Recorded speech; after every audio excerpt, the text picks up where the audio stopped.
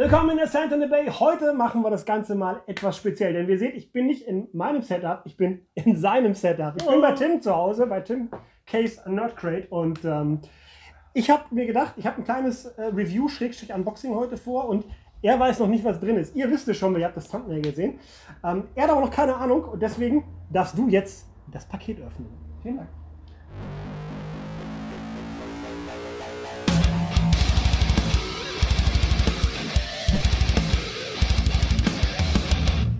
Während äh, Tim am Schneiden ist, die Figur gehört der lieben Miss Onslaught, also bitte sei vorsichtig.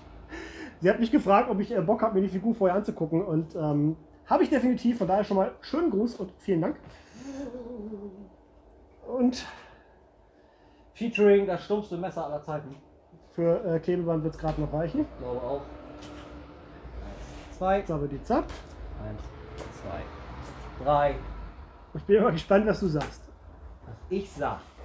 Paket für Miss Onslaught, was ich sag. Okay? Zack, so. Fucking fest. Klappe auf. TF Robots typisch sehr gut verpackt. Jo. Oh, oh, oh.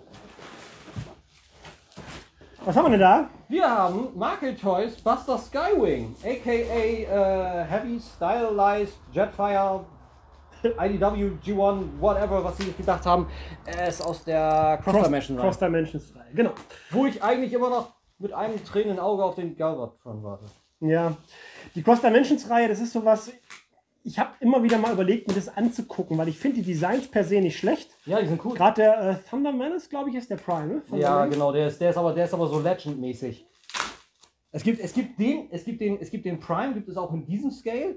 Und dann gibt es halt den Thunder Manius. Das ist halt auch nach dieser Super Ginrai, God Ginrai. Und Ach der ist so. so Legend-mäßig. Selben Namen. Okay. Oder Striker. Gibt es noch Striker Menace? Das ist Striker Manius. Das Striker Menace. Egal, ich komme da mal durcheinander. Jedenfalls, äh, ja, hat die Liebe mit Onslaught gefragt, ob ich Bock habe, mir Buster Skyway anzugucken. Und ähm, ja, das nehme ich doch gerne an. Safety First, momentan mehr Safety First. Aber Safety first.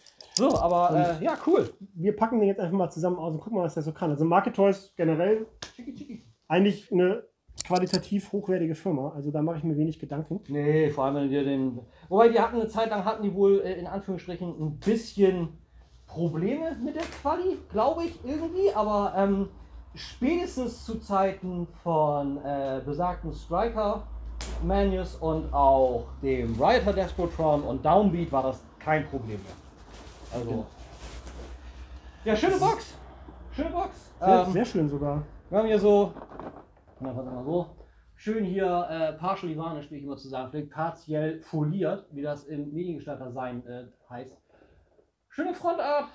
Was das Skywing sieht fast aus, als wenn das so ein, so ein, so ein durchsichtiger Schuber oben drüber wäre. Mhm, cool. Ist so ein ist es bisschen- leider nicht, aber. Semi-transparent, sieht cool aus. Äh, an der Seite so ein bisschen Wraparound, auf der Seite hingekippt den Jet-Modus und auf der Rückseite Playfeature, Playfeature, Play- Playfeature. Der kann auch Wie viele Modi hat er denn um Gottes Willen? Der hat etliche. Der hat das und du kannst ihn ja auch mit dem Striker Manus kombinieren. Ach gut, zu dem Glück habe ich den nicht, dann kann ich den Teil auslassen. Ich mag den Jet Mode ja sehr, sehr gern. Der Jetmos ist voll Avengers Quinjet. Ja, total. Sieht, sieht echt sieht cool aus. Papier, die Pappe ist ein bisschen dünne. Es ist, ja, das ist. Also äh, ist mehr so. wenn das in der heutigen Zeit von Amazon direkt verschickt worden wäre, wäre das der Schipperkarton und eine Vollkatastrophe. Richtig, so jetzt. Ich will ja auch was auspacken, deswegen mache ich jetzt weiter. Genau. Zack, einmal das Bändel an der Seite. Ihr seht, das ist hier wirklich ziemlich dünne Pappe und Oh, ich hasse diese, ich hasse diese zusammenklipp ja, das, das macht Market Toys fast immer. Ne? Also es gibt ja es gibt ja Clamshells, wo du einfach zwei Teile hast, aber halt Basis Deckel. Ja. Und ähm, Market Toys hat halt immer hier diese, die so quasi von- zweiseitig zusammengesteckt sind. Und was, was, was hierbei cool ist, da sind Sachen oben drin in Tüten, die kannst du rausnehmen, aber der ganze andere Kram, was ich hier sehe mit Flügel und so weiter, du reißt das auseinander, das macht einmal Strrrr und der ganze Kram Genau. fliegt die Gegend. Oh, das ging jetzt aber recht einfach. Das ging gut, das ging Das gut. ging einfach. Zack. Was ich sehe, gefällt mir und sieht voll nach Dire-Klon aus. So, was haben wir denn da? oh, der sieht cool aus. Ja, auf den ersten Blick muss ich sagen, stabil. Geh mal, mach mal ein bisschen näher. Ich, hab ja den, ich bin ja den Arm ein bisschen vor. aber Einmal hier ein bisschen so. Bitte, zip.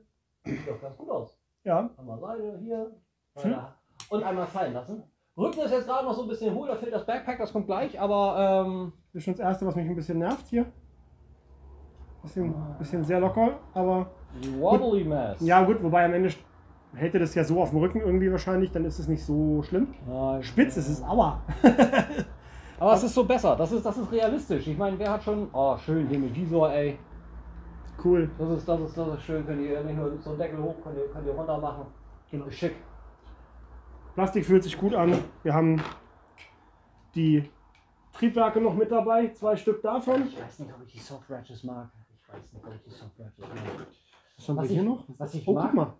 Matrix. Oh, cool. Hier so eine kleine Matrix. Ihr seht das, wir, wir gehen gleich dann äh, quasi äh, zurück ins Sentinel Studio und dann seht ihr das alles auch nochmal in der Aufnahme. Ein bisschen Turbinendetails. Cool, drehen die sich? Das ist immer so. Dann übermäßige Ansprüche hier. Oben drin so ein bisschen Turbinendetails. Da kommt der, da kommt der Zoom einigermaßen durch. Dann haben wir hier die zwei Klavierfilm. Kanonen für den Rücken dann vom Flieger. Oh. Ist alles roter Kunststoff, aber schön, schöne Akzente hier. Tempo Paints drauf.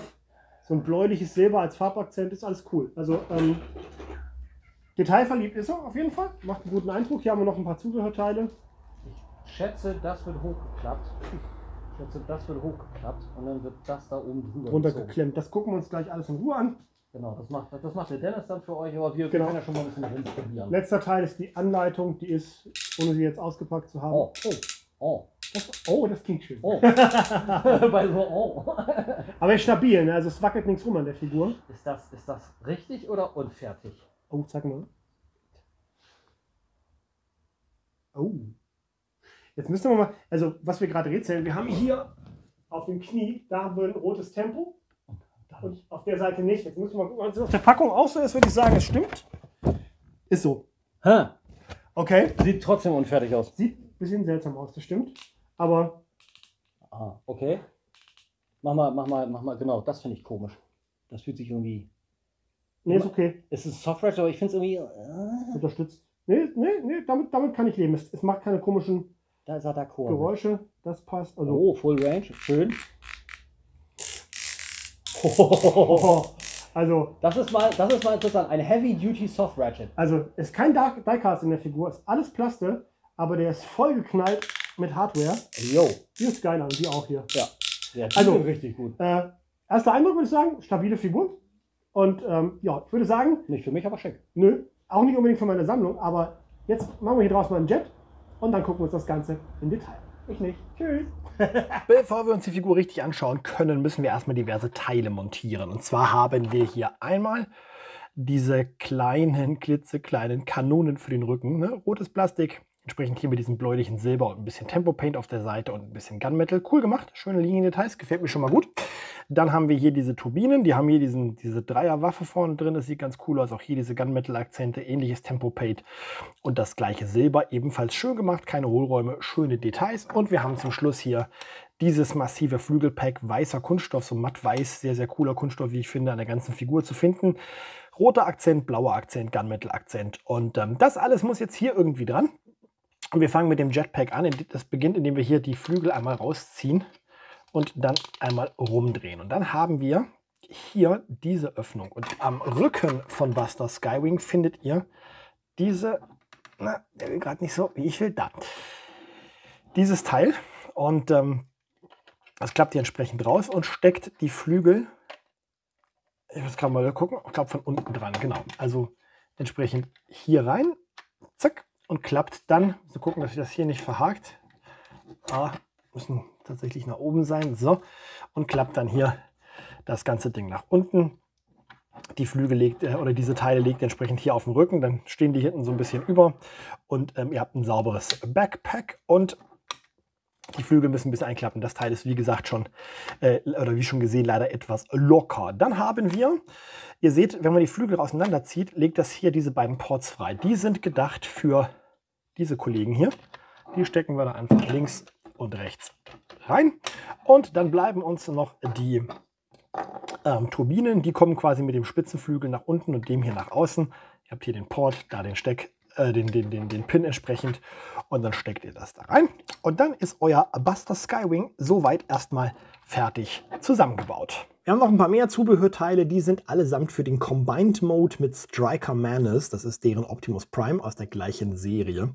Und äh, die werden entsprechend dafür gebraucht, äh, gebraucht um die beiden dann so kombi zu kombinieren. Ne? Das wird dann quasi wieder so ein Jetpack-Anzug für ähm, Optimus Prime, wie wir das aus den Movie-Figuren ja auch schon teilweise kennen. Und ähm, dieses Teil zum Beispiel kommt entsprechend, wir gucken, wie man das hier öffnet. Ah, zack Ne, kann man hier entsprechend dann tauschen, damit ihr dann so eine kleine Matrix darunter hackt und die anderen Teile werden dann entsprechend in der Rüstung mit verbaut. Kann ich euch nicht zeigen, weil ich diesen Striker Manus nicht habe. Wollte nur wissen, dass ihr wisst, wo ihr das zuordnen müsst. Und da haben wir ihn in seiner vollen Pracht und ähm, das ist, Design ist schon ziemlich cool. Es ist ein, ein neu interpretiertes, stilisiertes Design von Jetfire. Aber ähm, ja, es ist eine Eigeninterpretation. Also es ist diese Cross-Dimension-Linie von Market Toys, die ist wirklich eine, eine, Eigenentwicklung sozusagen. Man hat das Ursprungsdesign genommen und hat das Ganze neu interpretiert für so eine Art eigene Zeitlinie. Es ist also nicht irgendwie IDW-Vorlage, wobei es vom Gedanken her natürlich durchaus vergleichbar ist. Und ich glaube, die Figur würde auch in ein IDW-Regal zumindest vom Stil ganz gut passen. Von der Größe vielleicht nicht, dafür ist sie unter Umständen etwas klein. Das äh, sehen wir aber gleich noch. Wir gucken mal auf den Kopf. Sehr, sehr cool gemacht. Silber bemaltes Gesicht, blaue Augen, dann mit dunklerem Silber hier die ganzen Details am Kinn und an den Wangen abgesetzt. Ne, der Helm entspricht mit der anderen Farbe hier wunderschön, dieses Metallic Plastik und so, das sieht schon cool aus. Und wenn ihr dieses Visier runter haben wollt, klappt einfach den Helm nach unten. Und dann haben wir auch noch so ein bisschen diesen, diesen Macross-Look hier mit der Doppelantenne und so. Das ist schon cool gemacht. Und ansonsten viele Akzente, ne, vor allem mit Rot, Blau und Gunmetal gesetzt. Hier dieses blau-transparente Silber übermalt hier für das Cockpit, das sieht cool aus. Wir haben hier oben schöne Liniendetails auf den Turbinen. Überhaupt hat der schöne, schönes, schönes Linework insgesamt. Ne? Überall so kleine Erhebungen und Vertiefungen und Querlinien und so. Cool gemacht, sieht sehr, sehr interessant aus und ähm, wirkt insgesamt halt auch ziemlich mächtig, die Figur, weil er halt diese breiten Flügel hat, die sehr, sehr cool aussehen. Und auch hier diese Überhänge an den Armen sind nicht verkehrt. Das Schöne ist halt, dass man, wenn man das nicht mag, wenn einem das zu viel Kibbel ist auf den Armen, kann man es halt abziehen. Das ist ganz nice. Dadurch ist man ein bisschen variabel und auch das Backpack und so kann man ja alles runternehmen. Das Einzige, was wirklich stört, ist einmal hier ne, dieses sehr Labbrige an den Flügeln. Und was ich super faul finde, das sehen wir aber noch im Jet-Mode, sind diese halben Turbinen, die man hier gemacht hat. Die sieht man dann hinterher quasi von oben im Jet-Mode, aber dass man die nur so halb designt hat und nicht durchdesignt, finde ich ehrlich gesagt ziemlich faul. Ansonsten cool gemacht, keine großartigen Hohlräume. Hier sogar noch ein bisschen Design innen in den Beinen. Das alles hier sieht super aus, ne? wirklich schön technisch designt mit einem blauen Ring noch drumherum. Gunmetal bemalt. Also designtechnisch und auch von den Proportionen, denke ich, ist das eine sehr, sehr cool gemachte Figur, wenn man eine entsprechende Nische dafür bei sich in der Sammlung findet. Für die Beweglichkeit haben wir den Kopf auf einem Kugelgelenk, hoch, runter, links, rechts, Drehung, alles möglich, was man sich wünscht und auch toll toleriert, dass da nichts großartig rumschlabbert. Gut gemacht. Dann haben wir den Arm. Sanfte Ratsche erstmal hier auf diesem Gelenk. Das ist ein Problem. Ähm, löst sich gerne mal aus der Verankerung. Muss man vielleicht ein bisschen festhalten. Dann ähm, bei, der, bei der Manipulation. Das ist das erste Gelenk und dann haben wir noch ein zweites Gelenk, was ein bisschen fest ist für meinen persönlichen Geschmack. Aber dadurch seht ihr, ne, kriegt ihr den Arm wirklich maximal weit nach oben. Und das ist generell cool. Wie gesagt, Toleranz nicht so toll und das hier nervt auch. Insgesamt sind hier zwei Ratschen drin, ist aber alles Plastikzahn auf Plastikzahn. Fühlt sich also nicht so hoch, super hochwertig an, funktioniert aber auch. Hier haben wir eine ganz, eine ganz sanfte Ratsche drin. Ähm, ihr kriegt den Arm damit 360 Grad rum, bleibt halt so ein bisschen hier an den Flügeln hängen. Das ist aber nicht dramatisch. Ihr habt hier die Rotation des Arms, die funktioniert. Wir haben ein Doppel, ach, schon wieder äh, Doppelgelenks-Ellenbogen, volle Reichweite. Das ist cool. Wir haben die Hände, Finger. Erstmal hier, ne, Basispin, Zeigefinger bzw. Abzugsfinger, weil zeigen kann er damit nicht. Oh, doch, hat noch ein zweites Gelenk. Guck mal da. Kriegt man sogar gerade. Schönes Ding und dann entsprechend die auf einem Basispin. Der Daumen ist starr. Das Handgelenk lässt sich immerhin rotieren. Eine Neigung oder sowas haben wir da keine. Kurz zu den Flügeln vielleicht. Die könnt ihr im Prinzip, ne, ihr könnt die auch hier nach hinten winkeln, wenn euch das lieber ist. Ihr könnt die, wenn ihr sich, äh, das Backpack fast haltet, könnt ihr die auch hier so im Winkel noch ein bisschen verstellen. Also fast alles drin, was man sich da wünschen könnte. Dann haben wir die Hüfte. Erstmal Rotation mit Radschiff, das ist cool. Und wir haben sogar eine Neigung nach vorne und die ist auch gar nicht so arg klein. Also kann man tatsächlich was mit anfangen zur Seite oder so geht entsprechend dann nicht. Dann haben wir die Beine. Schöne feste Ratsche nach außen, hält das alles problemlos. Natürlich, weil hier ist kein Diecast in der Figur, ist alles Plastik, also insgesamt keine schweren ähm, Gliedmaßen hier zu halten. Wunderschöne Ratsche nach vorne, sogar noch über die 90 Grad raus. Und nach hinten würde es genauso weit gehen, wenn nicht das Backpack im Weg wäre. Also überhaupt keine Probleme Oberschenkelrotation ebenfalls mit Ratsche, schon ziemlich irre. Und dann haben wir hier die äh, Ratsche im Knie und hier oben eine zweite. Und dadurch kriegt man auch wirklich ja, über 90 Grad auf jeden Fall. Nicht die volle Reichweite wegen des Aufbaus, aber alles da, was man will. Der Fuß bleibt noch übrig. Ratsche nach oben und unten, wobei nach oben geht nicht so richtig viel. Mal gucken, ob wir dieses Panier hier noch so ein bisschen aus dem Weg bekommen. Nee, da ist also äh, hier dann Schluss. Ihr könnt die Zehen separat hier noch bewegen. Also das ist quasi, die sind Ferse und Zehe sind einzeln aufgehangen. Dadurch habt ihr noch ein paar Möglichkeiten und ihr könnt den Fuß maximal ausstellen. Also die Beweglichkeit insgesamt sehr cool. Der Fuß ist nicht ganz einfach zu machen, weil er hier ähm, das hier ist mir manchmal ein bisschen zu weich, das Gelenk. Dadurch sackt da manchmal ein bisschen ein. Und ihr müsst halt gucken, dass hier die Ferse und der Fuß vorne, dass das parallel ausgerichtet ist, dass er vernünftig steht. Das ist nicht immer ganz einfach, aber es funktioniert. Und vor allem sind sämtliche Reichweiten eigentlich genauso da, wie man sie sich wünscht. Fast keine Einschränkungen. Cool. Reden wir mal über die Größe. Wir haben hier den IDW Optimus Prime von Generation Toy. Der hat Masterpiece Größe, ist also genauso groß wie ein offizieller Masterpiece Optimus Prime. Und das funktioniert für mich nicht, vom Stil her schon. Also stilistisch ist das irgendwie ganz cool. Aber dafür ist Jetfire definitiv zu klein. Es ist in IDW nicht ganz so extrem riesig wie im Original Cartoon, aber er ist schon so, dass er die anderen Bots überragt. Und deshalb funktioniert der Scale für mich ehrlich gesagt nicht. Alternativ haben wir hier mal zwei Chuck-Figuren, den Hot Flame von SXS, also einen ähm, Lost Light Hot Rod und den offiziellen Legends Takara Legends Ultra Magnus, der in die gleiche Richtung geht. Also hier Leader Class und das ist so, ich würde mal sagen, grob irgendwo zwischen Deluxe und Voyager. Das funktioniert für mich von der Größe ehrlich gesagt ziemlich cool. Er ist deutlich größer als Hot Rod, er ist ein bisschen größer als Magnus. Das passt definitiv zusammen. Und auch stilistisch passt das für mich deutlich besser, weil wir uns hier ja von sämtlichen Erdenmodi verabschiedet haben und nur noch futuristische, cybertronische Modi mit uns rumschleppen. Und da passt der stilistisch, wie gesagt, richtig gut rein. Zum Abschluss noch was für die Jetfire-Fans da draußen. Das ist der War for Cybertron Commander Class Siege Jetfire. Und der überragt ihn doch deutlich. Aber nichtsdestotrotz, wenn jemand den Charakter sammelt, hat er hier eine weitere schöne Option. Vorhin habe ich gesagt, dass die Figur kein Diecast enthält. Das heißt aber nicht, dass sie leicht ist. Erstmal ist er 24 cm groß, also schon ganz ordentlich und bringt fast ein halbes Kilo auf die Waage. Also dafür, dass es nur Kunststoff ist, ist es davon aber eine Menge. Für die Verwandlung entfernt er als erstes hier die beiden Turbinen von den Armen und die beiden großen Knarren hier vom Rücken. Öffnet anschließend den Unterarm hier an dieser Stelle, dreht die Hand 90 Grad nach innen und mit der Handfläche nach innen legt ihr die Hand dann hier entsprechend rein, sodass ihr das Ganze hier wieder schließen könnt. Als nächstes trennt ihr die Seite vom Torso ab, bringt sie auf diesem Doppelgelenk hier nach unten und schwingt die gesamte Schulter hier 90 Grad hoch. Den Arm dreht ihr um 180 Grad, sodass dieser Pin hier nach vorne zeigt.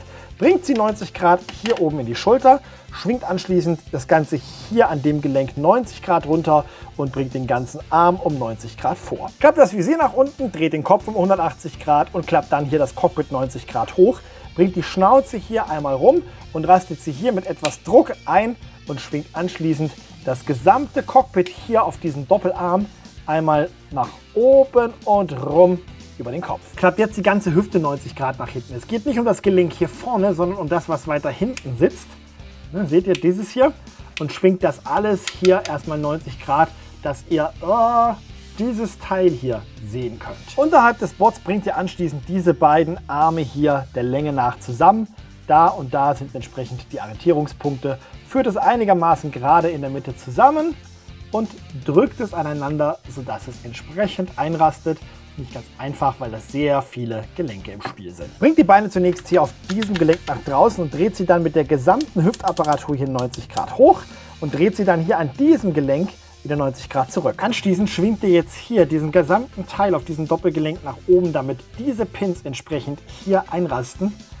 Keine Ahnung, ob ich das vernünftig aufs Bild bekomme, aber ich glaube, ihr wisst, ja doch, so grob zumindest, was ich meine. An den Beinen klappt ihr jetzt diese Klappe auf, schiebt sie hier einmal nach unten und klappt dieses kleine Panel 180 Grad raus. Dieses Ding hier hat bei mir eine Tendenz rauszufallen. Das ist eigentlich eingeklebt, nur der Klebstoff hält nicht wirklich.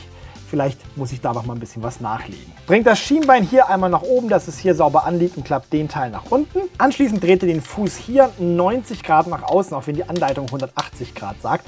Bringt dieses Teil hier, alles sehr feste Gelenke nach oben und dreht den Fuß hier vorne an der Spitze um 180 Grad rum. Der nächste Teil ist tatsächlich der ätzendste insgesamt. Wir müssen jetzt einmal das Ding rumdrehen und jetzt äh, diese beiden Beine hier ne, werden jetzt hier zusammengeführt und dann am Ende mit ähm, dieser Öffnung auf diesen Pin gelegt und dann hier, ne, ihr seht, hier ist so eine kleine, eine kleine Nut und hier ist der entsprechende, das entsprechende Gegenstück auf der anderen Seite. Da werden die Dinger dann zusammengeklippt. Das Schwierige dabei ist, das alles so zu machen, dass einem A nichts abfällt und B, dass man hier nicht an den verschiedenen Teilen hängen bleibt. Ich klappe immer das Flügelpack erstmal so ein bisschen an die Seite und dann müssen wir zunächst erstmal an diesem Gelenk hier 45, nee, nicht an diesem, das ist nämlich auch das der Punkt. Nicht hier, sondern hier an diesem Gelenk. Ungefähr so auf, ah, ich sag mal, 45 Grad in etwa kommen. Und die restliche Strecke machen wir dann hier über das normale Hüftgelenk. Dann solltet ihr so ungefähr grob in die richtige Richtung kommen. Ihr seht, es ist hier jetzt gerade abgefallen. Also Teile fallen bei dem Ding wirklich viele ab, muss ich sagen. Das geht mir ehrlich gesagt auch ein bisschen auf den Zeiger, ist aber hier nur draufgesteckt, also kein großes, kein großes Drama. Ihr habt auch hier, den kann man kaum erkennen, ein bisschen scharf gestellt, da. Da ist noch ein Stift und der muss hier entsprechend rein. Also ihr müsst schon gucken, dass ihr alle Punkte ungefähr trefft, was in der Tat nicht ganz einfach ist. Da bin ich jetzt soweit drin. Mal hier oben gucken. Ah, da bin ich zumindest in der Nähe. Ich zeige euch jetzt mal den, den, ganzen Prozess, weil das ist wirklich einer der äh, ätzendsten Teile dieser Transformation, das alles ausgerichtet zu bekommen. Und dann müsst ihr halt am Ende, das andere Bein hier muss genauso gemacht werden. Das ist aus dieser Perspektive fast nicht denkbar. Eins, zwei, drei Klicks etwa und dann den Rest übers Hüftgelenk. Und ihr seht, jetzt kriegt das hier so ganz grob schon mal die richtige Form. Hier oben ist es jetzt zusammen. Ah, hier unten rastet es auch grob ein und dann muss es in etwa so aussehen. Jetzt kommt noch ein kniffliger Part. Die Teile hier so weit nach oben, wie es irgendwie geht. Die Flügel dreht ihr hier an diesem Gelenk 180 Grad rum, drückt sie hier entsprechend, ah, gehst du da rein, so, daran, das hier oben einigermaßen gerade ausrichten, das Ganze hier nochmal wiederholen, zack, zack. Und jetzt müsst ihr zusehen, dass ihr diese Klappe hier 90, oder 90 Grad ein bisschen nach unten winkelt, denn die muss jetzt hier drunter rutschen in dem Moment, wo ihr das hier zusammenschiebt. Und diese Teile müssen hier drüber. Und das ist so unglaublich eng gestrickt, dass das sehr schwer machbar ist. Ich mache das so ein bisschen immer hier so die Finger drunter und dann das hier so vorbeidrücken und dann geht das ganz gut. Aber ihr müsst halt auch gucken, dass das Teil hier unten entsprechend so sitzt, dass es auch wirklich drunter rutscht. Und das ist wirklich eine eklige Fummelei. Dann habt ihr hier am Ende, seht ihr ja, ne, diese kleinen Schlitze. Hier sind Pins auf der Unterseite der Klappe. Und damit müsst ihr das Ganze dann hier abschließen. Das ist aber tatsächlich nicht einfach machbar. Jetzt hat es Klick gemacht. Und jetzt kriegt das Ganze hier auch eine Form. Das Cockpit könnt ihr jetzt hier schon mal dran drücken. Das sitzt dann hier sehr sauber in der Fassung. Unter den Flügeln habt ihr jetzt hier diese Teile. Das sind diese Fake-Turbinen, die ich vorhin gezeigt habe. Und die müsst ihr jetzt rausklappen. Und hier ist ein klitzekleiner Schlitz da an der Seite in diesem roten Teil. Und da müsst ihr die reinstecken. Bei mir war der Pin hier zu breit. Ich musste den tatsächlich ein bisschen abfeilen, damit er dann passt. Aber jetzt geht das ziemlich gut. Aus diesen beiden Teilen macht ihr jetzt eins. Ihr habt nämlich hier diese drei Öffnungen hinten dran. Und da steckt ihr die kleine Turbine einfach rein. Macht das auf der anderen Seite ganz genauso. Und dann habt ihr auf der Oberseite des Fliegers zwei äh, Ports, wo ihr das Ganze verbinden müsst. Ihr habt es schon wieder abgefallen hier, dieser Kram. Himmel, Herrgott. Ähm, ihr habt hier den runden Pin, der gehört entsprechend da rein. Und ihr habt hier hinten diesen eckigen, der gehört da rein. Und das geht ganz gut. Ihr müsst halt gucken, das muss alles sehr sauber passen. Wenn an irgendeiner Stelle die Teile nicht richtig zusammen sind, dann kann es sein, dass ihr jetzt durch das Verbinden des Pins hinten das wieder rauszieht. Und das sieht auch hier tatsächlich so aus, als wäre das noch nicht so hundertprozentig. Das hier, das ist das, was ich meine. Ne? Jetzt ist hier das Ganze nicht hundertprozentig sauber ausgerichtet, dadurch rutscht das hinten aus der Fassung. Ich sehe aber auch ehrlich gesagt nicht, an welcher Stelle ich es jetzt nicht sauber hätte, weil ansonsten ist der Jet eigentlich ziemlich gerade. Aber so müsst ihr beide entsprechend montieren. Eine Seite und hinten habt ihr noch die andere Seite für diesen Look. Holt jetzt hier noch das Fahrwerk entsprechend raus, bringt die Flügel hier ein bisschen in Ordnung und dann seid ihr mit dem Jet Mode von Buster Skywing fertig. Und auf den ersten Blick muss ich sagen, macht das echt ordentlich was her. Es hat tatsächlich ein bisschen was vom Quinjet, von den Avengers. Und ähm, schön, dass man hier diese recht glatten Oberflächen insgesamt. Ne, die Form ist eigentlich sehr, sehr cool. Also äh, ich, ich mag das. Auf den ersten auf den ersten Blick finde ich es wirklich richtig cool. Ist auch einigermaßen abwechslungsreich. Der, ne, diese weiß und rote Ebene ist klar getrennt. Wir haben ein paar schöne Akzente. Dieses, dieses bläuliche Silber irritiert mich ein bisschen. Ich glaube, ich hätte ein, ein, cleanes Silber besser gefunden. Ich bin mir auch nicht sicher, ob das hier vorne zusammenpasst. Ich habe das Gefühl, hier ist normales Silber, hier hat es diesen leichten Blaustich. Ich kann es nicht genau sagen. Aber ich glaube, ein ganz simples Silber hätte ich vielleicht ein bisschen cooler gefunden. Und ähm, ja, das, das ist der Jet. Ihr habt hier, wie gesagt, äh, die, die Fahrwerke hier. Ne, vielleicht müssen wir die noch ein bisschen nach hinten ziehen, dass die wirklich parallel zum Jet sind. So. Und äh, dann steht er da drauf, rollen oder so kann er jetzt nicht. Ihr könnt auch so insgesamt jetzt hier mit dem Jet nicht viel machen. Klar, ihr könnt jetzt hier mit den, mit den Flügeln noch so ein bisschen spielen. Ne? Das geht schon. Aber ähm, das war es dann auch. Außer geht da nicht mehr viel. Ähm, das große Problem ist, wenn ihr dieses Ding rumdreht. Und das ist eine Katastrophe. es ist eine absolute Katastrophe. Hier drin ist alles hohl. Ähm, ihr seht klar die Rückseite, aber trotzdem klar erkennbar den Kopf. Diese ganze Kram hier, der stört mich noch gar nicht so großartig. Die Turbinen nach unten zeigen für so einen Senkrechtstarter, das ist okay, aber es ist eine ziemliche Katastrophe. Und ich finde es deshalb so schlimm, und das wirkt auch das mit den, äh, mit den Turbinen hier, ne? Diese Fake-Turbinen. Mich stört das deshalb, weil ähm, gerade bei Fliegern für mich zumindest, das sind doch eher mal so die Kandidaten, die, wenn man sie in diesem Mode hat, stellt man die vielleicht auf dem Flightstand, dadurch stehen die ein bisschen höher, dadurch guckt man vielleicht auch eher mal drunter. Und deswegen finde ich bei Jets halt die Unterseite auch wichtig und äh, die ist bei Buster Skywing einigermaßen misslungen. Das ist für mich hier das, das Glaring Hole, also das schreit mich geradezu an. Ähm, ist wirklich nicht gut. Aber ansonsten vom, vom Look, äh, vom Design und so weiter ist das schon ziemlich cool. Das hier ist auch im Jet-Modus nervig. Das Gute ist halt, dass es in dem Winkel, wie es eigentlich soll, nämlich so leicht schräg, da immerhin hält. Aber ähm, jetzt hier irgendwie so dann ist, ich weiß nicht, also der, der Flügel ist einfach im Umgang ein bisschen nervig. So geht es übrigens auch, ne? Sieht ein bisschen aus wie ein UFO. Es ist kein schlechter Jet, überhaupt nicht. Design ist cool, Oberfläche ist cool. Von unten hat man es halt nicht wirklich zu Ende gemacht. Und für den Größenvergleich habt ihr hier mal ein Masterpiece Auto. Also das Ding hat schon ordentliche Größe, kommt sehr, sehr cool rüber. Fazit, in Sachen Konstruktion hat die Figur einiges nachzuholen, wie ich finde. Sie ist relativ komplex, klar, sie muss drei Modi durchziehen, aber diese Komplexität, äh, da hält die Figur einfach nicht mit. Viele Sachen stecken nicht richtig zusammen oder sind nur schwer zusammenzubringen. Ne? Das Zusammenbauen des Fliegers zum Beispiel hinten ist eine relative Katastrophe. Dadurch macht die Transformation auch nicht richtig Spaß. Im Bot-Mode äh, fällt einem der Torso ständig auseinander, was unglaublich nervig ist.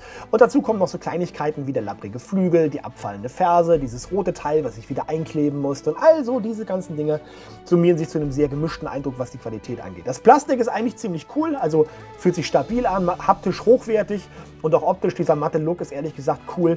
Von daher daran liegt es nicht. Es ist, glaube ich, einfach die Art und Weise, wie man die Figur ausgedacht hat. Ist nicht so ganz optimal. Vielleicht hätte man auf den Combined Mode tatsächlich verzichten sollen. Vom Design her finde ich sie großartig. Der Bot sieht richtig genial aus.